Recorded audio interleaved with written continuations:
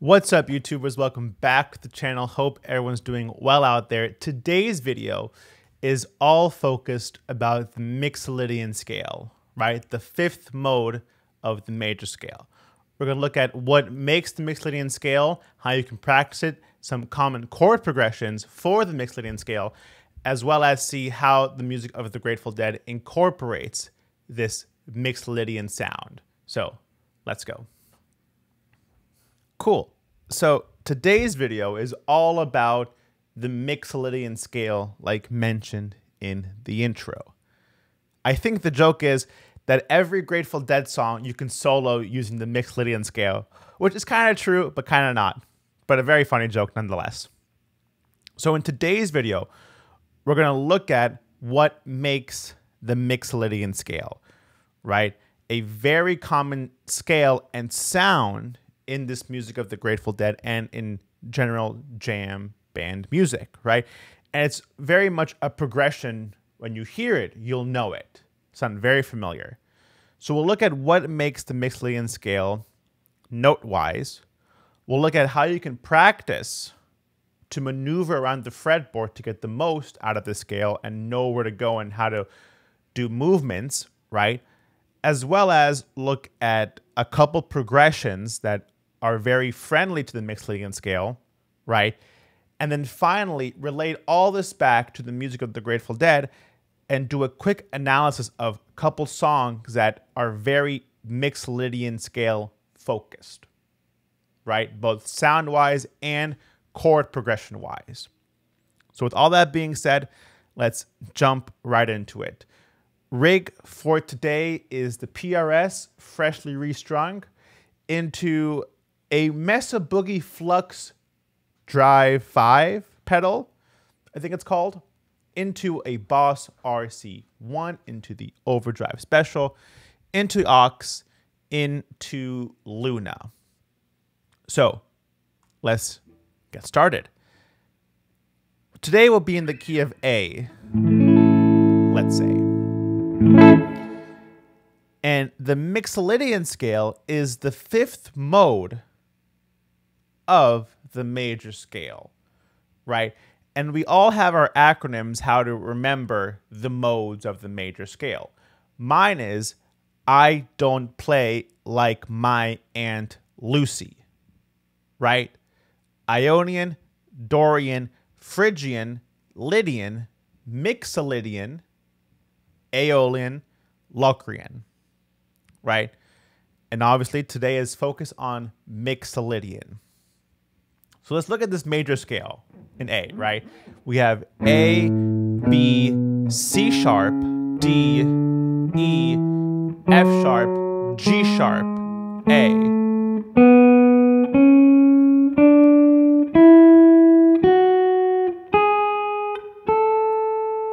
Right, very standard major scale.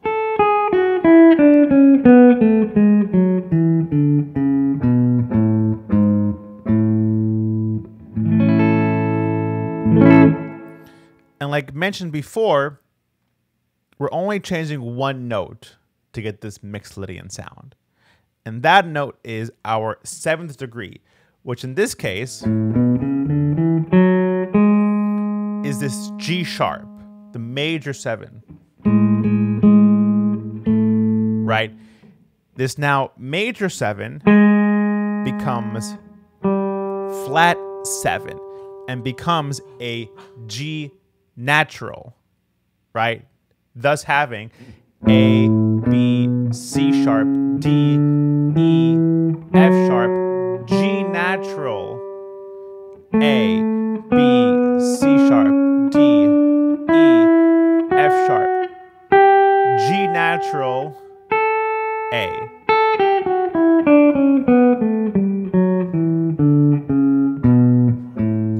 Thus giving us our dominant seven sound. So the dominant seven sound we just heard comes because of the chord tones being one, three, five, flat seven, right? Our Mixolydian note, root.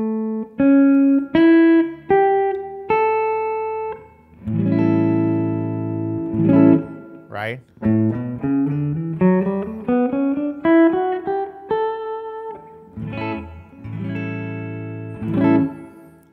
So now, how can we go about practicing incorporating this flat seven into our already known major scale?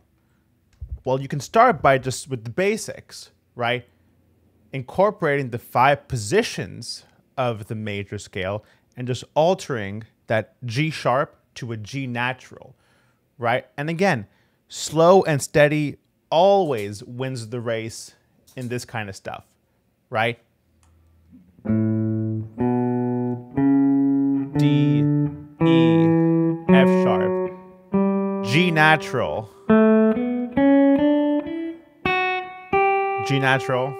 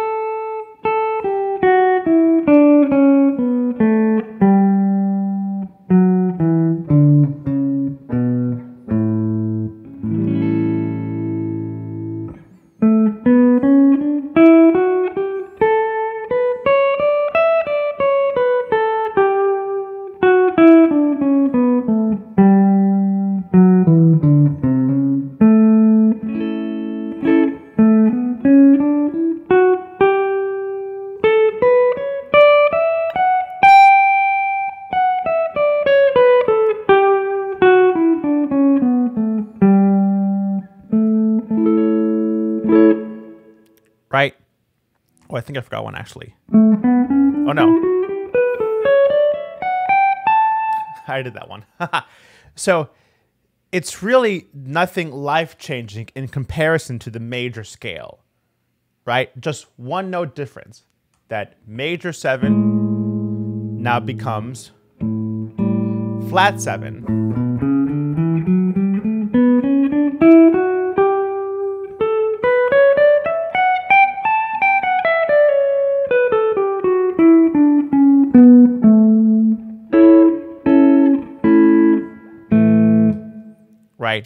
One note. Major seven to flat seven.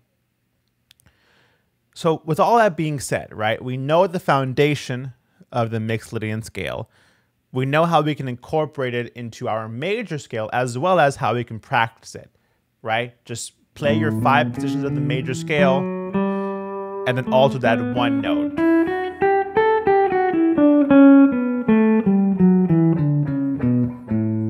And as you feel more confident, then you can move around the neck to do like three octaves, right? So now let's check out a couple chord progressions that work under or over the Mixolydian scale. So check this out. Cool. So the first progression is pretty simple. One major, this case being A major, to flat seven major. G major, right? Because if we look at the notes in G major and compare them to A, we have our flat seven, our B, which is our ninth degree of A, our D, which is our fourth degree, and then G, our flat seven. So one to flat seven. Right? So let's loop that now and see what happens. I also engage the uh, Mesa Boogie light overdrive.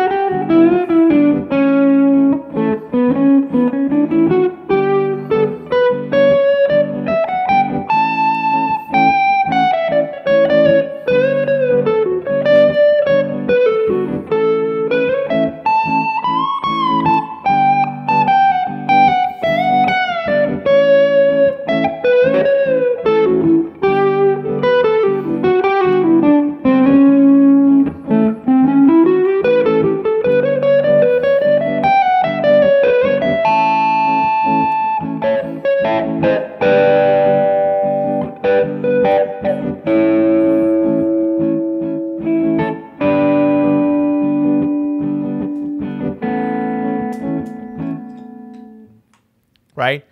One to flat seven major. Our next progression is one that will most probably sound very familiar to all of you, and that is one major, flat seven major to four major.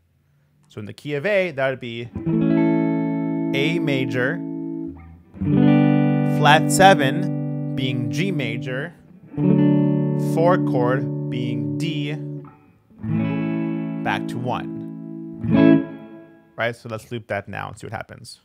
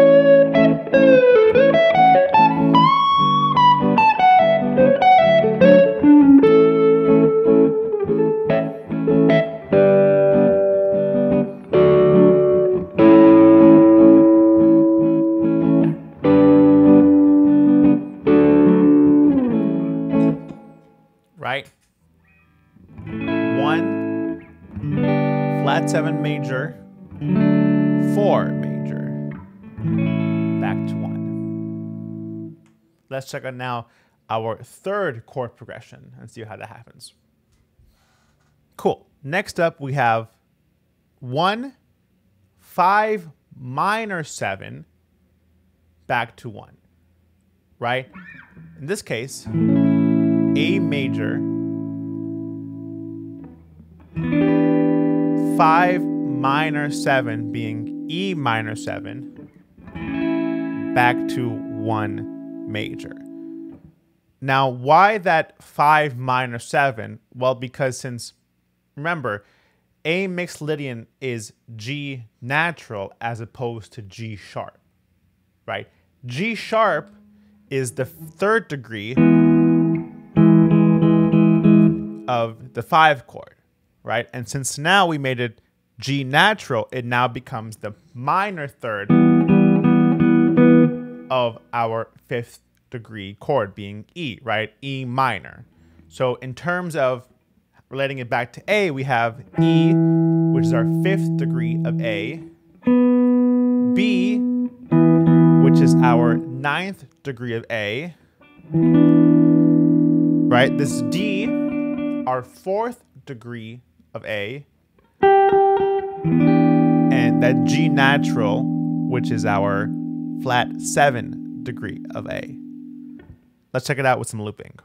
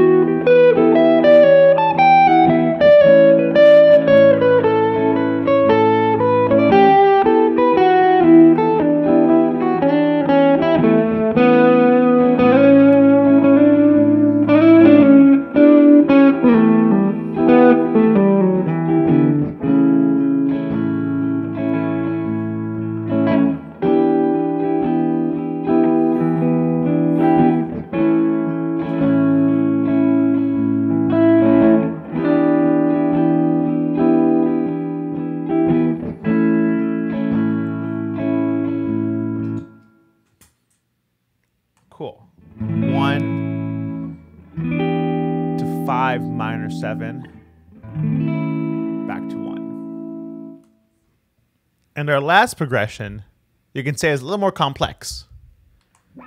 One to flat seven, major seven, G, F sharp, B, D, right? Two, five minor seven, E, B, D, G. Again, our Mixolydian note. Back to one major.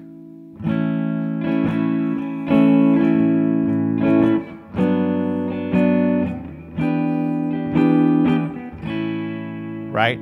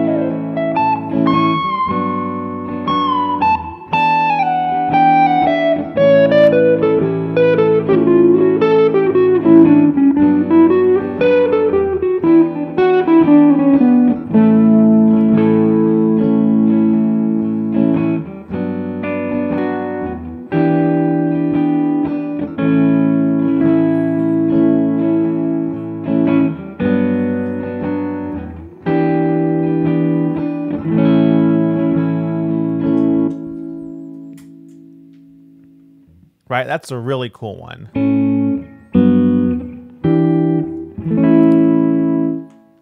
Right? These chord progressions aren't really rocket science when you break them down and see what the notes are. Because, for example, the G major 7 and the E minor 7, they both have G, which in this tonal center of A Mixolydian is the note you want. That G natural, that flat 7. So, with all that being said, let's take a look now at a couple Grateful Dead songs, right? Very briefly, that incorporate some of these chord progressions that really emphasize the Mixolydian scale and sound. So, what are a couple songs that we can say from the Grateful Dead catalog that are very Mixolydian heavy, right? Well, the first one that comes to mind is very obvious, and that is Fire on the Mountain, right? Being one major, A major, flat seven major, to E major, which is our four chord, right? One, flat seven, four.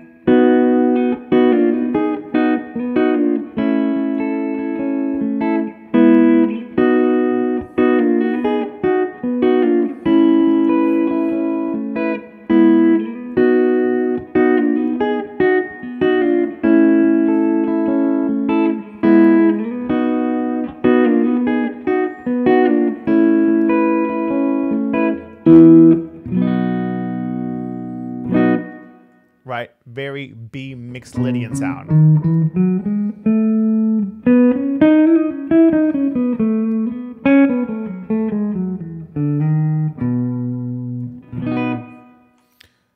Another song that is Mixolydian in a couple ways is Terrapin Station, right? If we look at Lady with a Fan, that chord progression, G major, D minor, right? G Mixolydian. one, five minor because it's F natural, C major four, root, flat seven,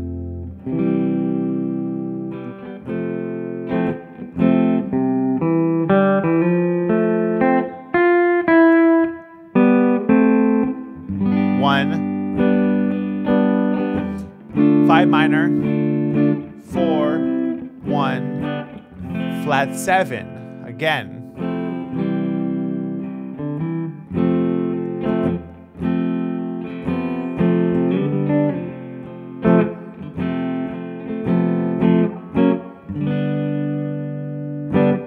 Right?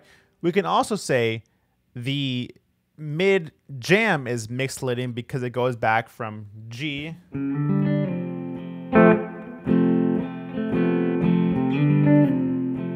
flat seven.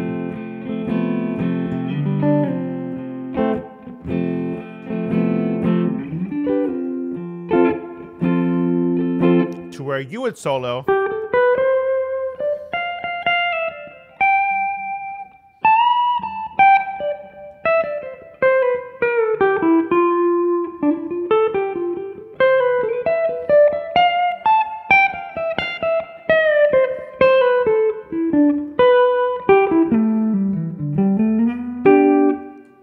Something like that. Very Mixolydian heavy, right? Another one, Estimated Prophet, the solo.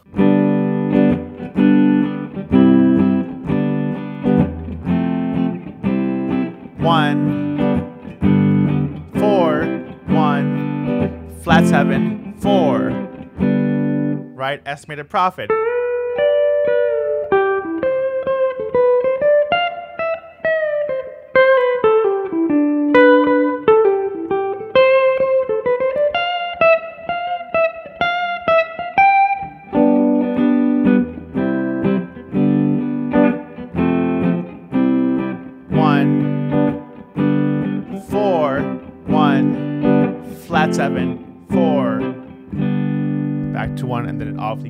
Changes to F sharp minor, which is crazy.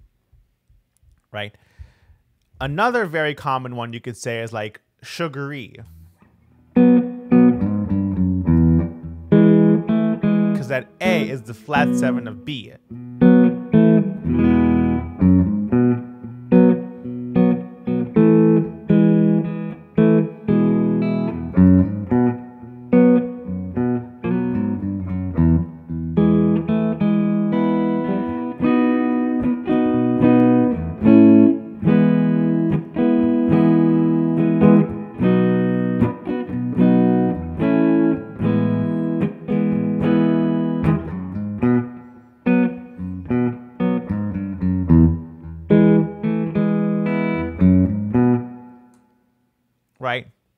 So the Mixolydian sound is all over the Grateful Dead catalog, right?